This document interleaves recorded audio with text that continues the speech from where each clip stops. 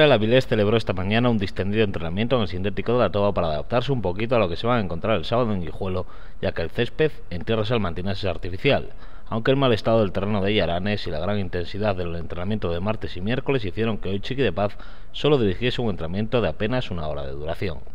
Jeffrey se incorporó al grupo y el que hoy no se ejercitó con normalidad fue el central gallego Jorge Rodríguez, que tiene molestias en un tobillo, aunque mañana se incorporará al grupo y estará a disposición para entrar en la citación para Salamanca. Por lo tanto, Chiqui cuenta con 18 futbolistas, de los cuales dos no viajarán a Guijuelo. El míster da una importancia capital a este partido en tierras charras sin pensar en Salamanca y Tenerife, porque sabe que va a ser una lucha de cuerpo a cuerpo. De estar eh, al 2000% porque yo les he dicho a ellos ya un poco por encima, eh, mañana vamos a profundizar un poco más. Eh, van a intervenir muchísimas veces, en muchas ocasiones y constantemente. Entonces va a ver que si en un partido normal a veces, oye, pues vamos a estar en la extrema izquierda, la vigilancia defensiva, estar un poco atento, pero cualquier despeje va a ser una ocasión de gol, eh, tu intervención en el partido va a ser inmediata, o sea, 100%. En el momento que nos vayamos un poco del partido puede llegar cualquier desgracia. El Guijuelo, a pesar de haberse formado a prisa y corriendo, tiene un buen equipo y sobre todo su delantero Hugo Salamanca, que tiene un don para allá donde cae el balón, estar él para rematarla. Juan Díaz y Jeffrey están apercibidos de sanción, aunque el sábado ninguno va a pensar en ello.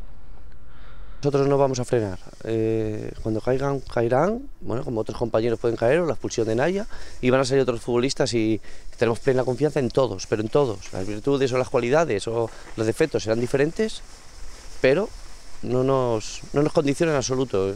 Yo les he dicho, hay que ir al 100% en cada jugada sin pensar si, si es la quinta o la final de un mundial. Bueno, pues muchos jugadores se lo han perdido por, por, situaciones de esas. No vamos a pensar nosotros en ningún partido posterior, nada más que los tres puntos que, que queremos llevar de, de Guijuelo. La verdad que no hay un once muy claro para este sábado, aunque todo hace indicar que puede haber cambios respecto al equipo que ganó el Alcalá.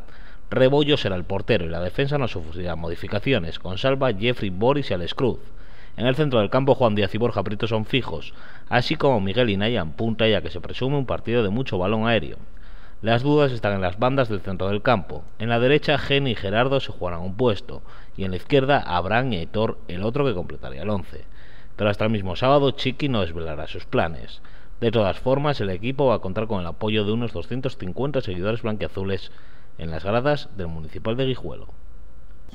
Pues un motivo más para, para, vamos, para que, lo, para que demos todos el, el 2000%.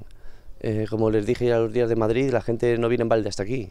Entonces forman parte también de, del club y como forman parte del club hay que intentar, pues, iba a decir agradar, no, agradar no. Lo que hay que hacer es, aparte de agradar, pelear y trabajar al, al máximo, o sea, de ser muy generosos en el esfuerzo y, recompensar, pues oye, ya que nos acompañan, pues lo haríamos de igual manera, pero un plus sí que nos va a dar esa afición.